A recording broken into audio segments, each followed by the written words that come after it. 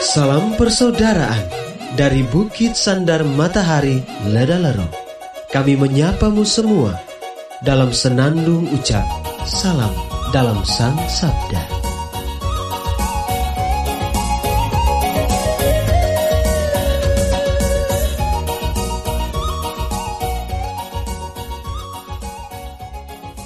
Bacaan Injil dan Renungan hari ini edisi 9 November 2020 Senin Pekan Biasa ke-32 Pesta Pemberkatan Basilika Lateran disusun oleh Frater Camillus Ikun SVD dan dibawakan oleh Frater Stefan Loi SVD.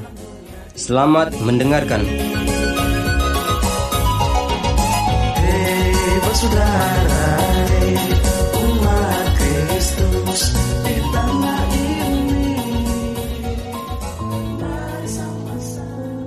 Bacaan diambil dari Injil Yohanes bab 2 ayat 13 sampai 22. Ketika sudah dekat hari raya Paskah orang Yahudi, Yesus berangkat ke Yerusalem.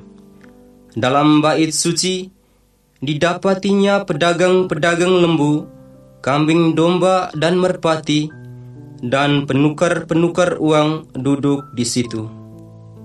Maka Yesus membuat cambuk dari tali, lalu mengusir mereka semua dari bait suci dengan semua kambing domba dan lembu mereka. Uang penukar-penukar dihamburkannya ke tanah, dan meja-meja mereka dibalikannya. Kepada pedagang-pedagang merpati ia berkata, Ambil semuanya ini dari sini. Jangan kamu membuat rumah Bapakku menjadi tempat berjualan. Maka teringatlah murid-murid Yesus bahwa ada tertulis, Cinta untuk rumahmu menghanguskan aku. Tetapi orang-orang Yahudi menantang Yesus katanya, Tanda apakah dapat engkau tunjukkan kepada kami bahwa engkau berhak bertindak demikian? Jawab Yesus kepada mereka, Rombaklah bait Allah ini, dan dalam tiga hari aku akan mendirikannya kembali. Lalu kata orang Yahudi kepadanya, Empat puluh enam tahun orang mendirikan bait Allah ini, dan engkau dapat membangunnya dalam tiga hari? Tetapi yang dimaksudkannya dengan bait Allah ialah tubuhnya sendiri. Sesudah Yesus bangkit dari antara orang mati, barulah teringat oleh murid-muridnya bahwa hal itu telah dikatakannya. Maka percayalah mereka akan kitab suci dan akan perkataan yang telah diucapkan Yesus.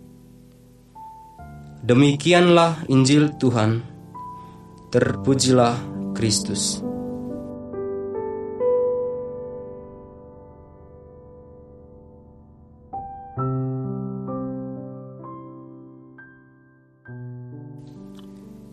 Bapak, Ibu, saudara-saudari, pencinta Sang Sabda yang terkasih dalam Tuhan. Renungan kita pada hari ini berjudul Menjadi Bait Allah yang Hidup di Tengah Umat. Saudara-saudari sahabat Sang Sabda, hari ini Gereja Katolik merayakan pesta pemberkatan Basilika Lateran Injil hari ini mengisahkan tentang Yesus menyucikan bait Allah. Hari ini kita merayakan pesta pemberkatan Gereja Basilika Lateran. Basilika Agung ini didirikan oleh Kaisar Konstantinus Agung, putra Santa Helena, pada tahun 324. Pada awalnya, pesta ini hanya dirayakan di Roma. Namun, lama-kelamaan menjadi pesta bagi seluruh gereja.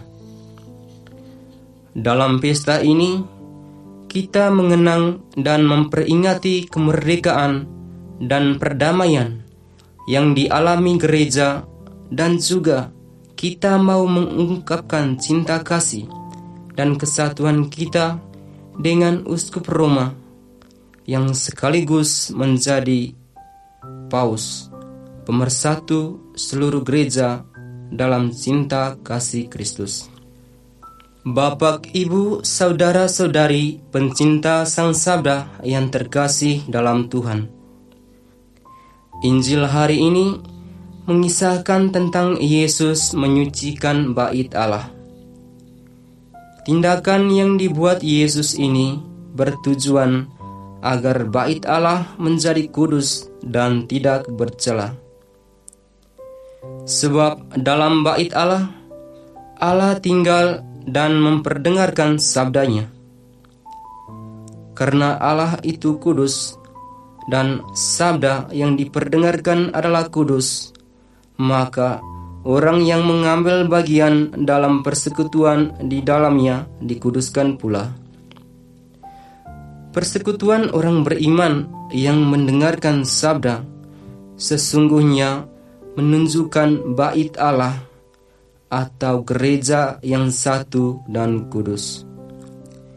Dan persekutuan hidup beriman itu didasarkan dalam diri Yesus Kristus. Maka setiap kita adalah bait Allah karena roh Allah diam dalam diri kita. Gereja secara fisik menjadi tempat perjumpaan, persaudaraan, komunitas cinta ilahi. Oleh karena itu, setiap orang beriman dalam persekutuan ini membawa dalam tubuhnya warta kehidupan dan kebahagiaan bagi banyak orang. Ya Allah Tritunggal, semoga kehadiran gerejamu dalam diri orang beriman menjadi kesaksian hidup di tengah dunia ini. Amin.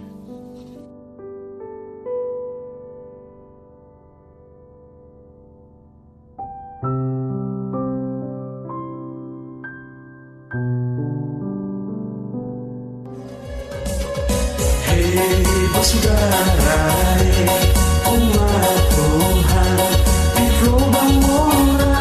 Sahabat-sahabat pencinta Sang Sabda, kita baru saja mendengar bacaan Injil dan renungan edisi hari ini. Sampai jumpa kembali pada edisi berikut. Terima kasih kepada Divisi Kerohanian website Seminari Tinggi Santo Paulus Ledalero. Semoga Sang Sabda menjiwai seluruh pengalaman hidup kita hari ini. Tuhan memberkati kita sekalian.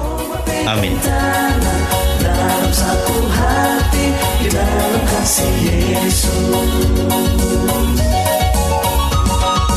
Mari dengarkan sapaan sabda dari komunitas Seminari Tinggi Santo Paulus Ledalero setiap hari Senin sampai dengan Sabtu di www.seminariledalero.org.